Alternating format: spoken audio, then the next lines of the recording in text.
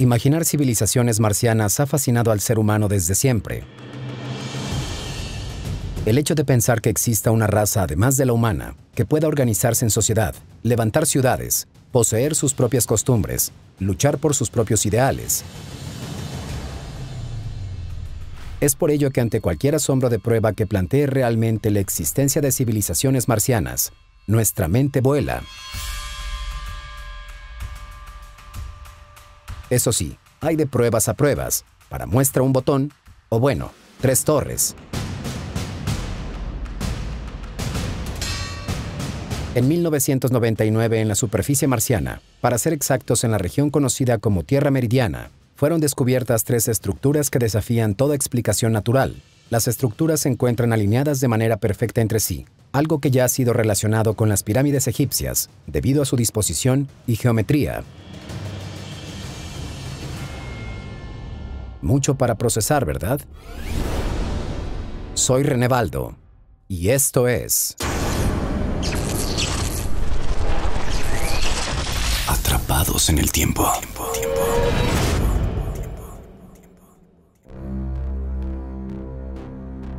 ¿Será acaso posible que alguna vez se hubiera asentado una civilización en la superficie marciana?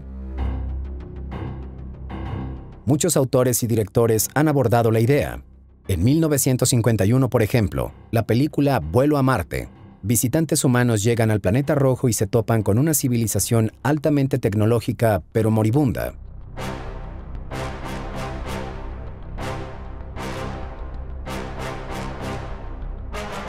Idea que ya ha sido abordada en el cortometraje Past Trip to Mars de 1910,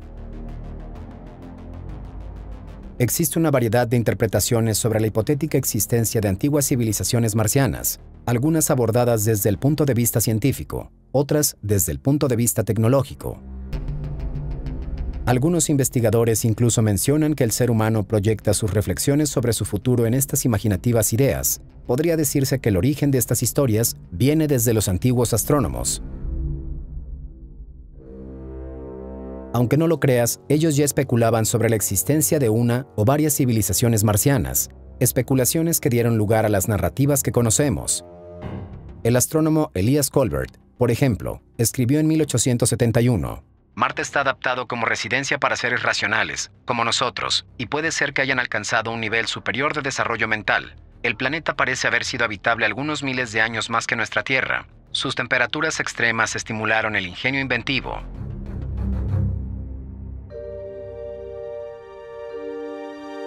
Hoy las ideas de Elias Colbert están completamente desacreditadas. En su momento fue incluso polémico, pero fue él quien sentó las bases de una civilización marciana antigua y tecnológicamente más avanzada que la Tierra.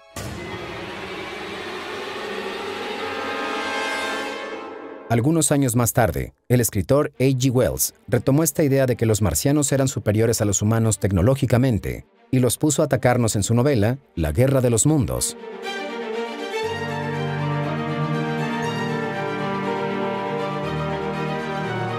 Ya sabes, esa historia donde extraterrestres con forma de calamar y trajes robóticos arrasan con nuestro planeta.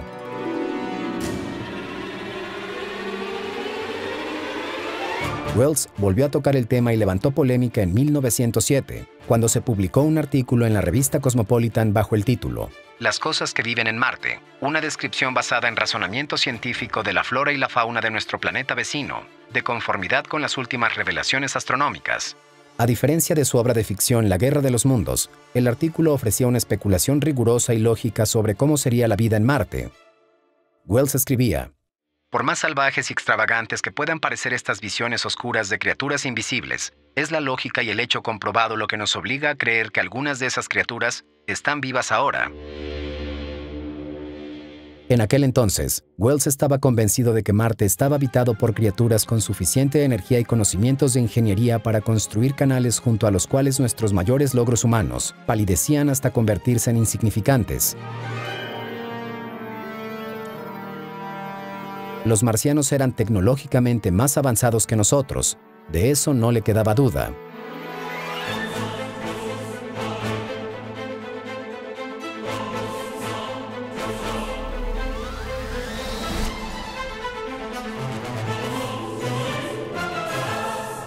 El de Wells no fue el único artículo de alguna publicación reconocida que levantó polémica. El 10 de enero de 1915, el Washington Herald preguntó en sus páginas a los lectores, ¿qué piensan los marcianos de nosotros ahora?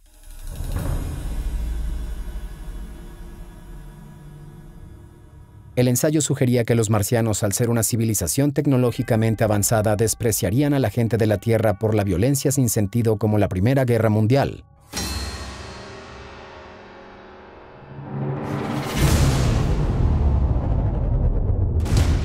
En el artículo además se mencionaba que la inteligencia y el progreso marciano crearon un mundo en el que el concepto mismo de guerra había desaparecido. Hoy, a décadas y décadas de aquellas historias y pensamientos, nuestra imaginación se alimenta de hallazgos, noticias y descubrimientos como el de las tres misteriosas torres descubiertas en la superficie de Marte.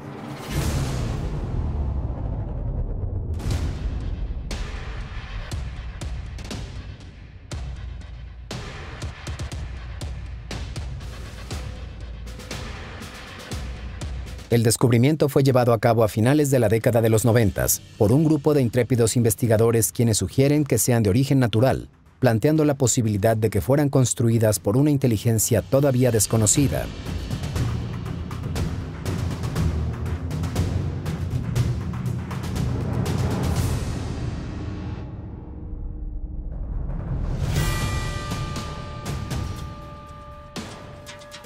A lo largo de estos años, renombrados científicos que han dedicado sus vidas a estudiar Marte acumulan suficiente evidencia como para respaldar la idea de que en algún momento del pasado, este planeta fue habitado por civilizaciones avanzadas.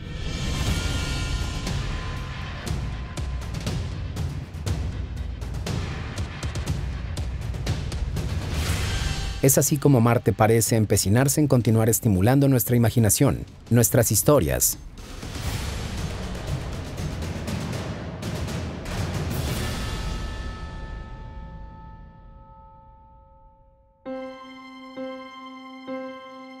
¿Hubo vida inteligente alguna vez en nuestro planeta vecino?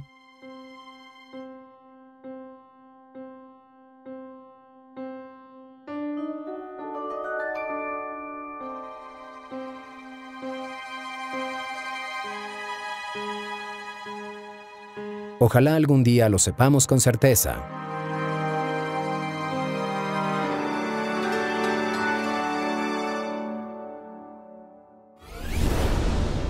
Soy Renevaldo y esto es...